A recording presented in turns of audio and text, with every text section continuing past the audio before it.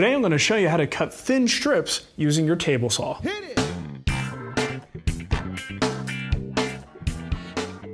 are a lot of reasons why you might need to cut thin strips, either for bent lamination or even cutting edging for plywood if you want to edge it out with some nice solid trim.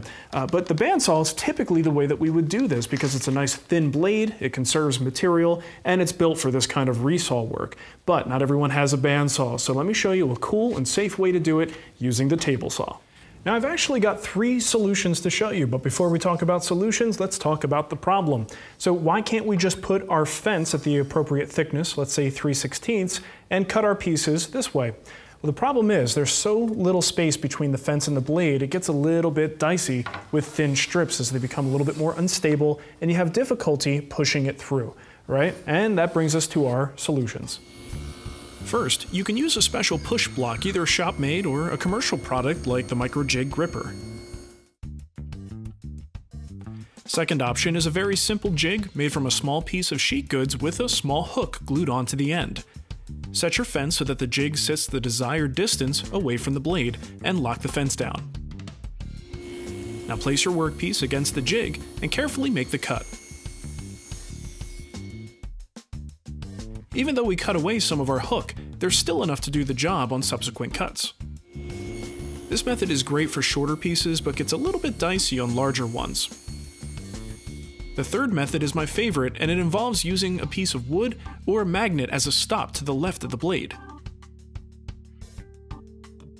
I use a mark on the workpiece to line up the blade for the appropriate sized offcut.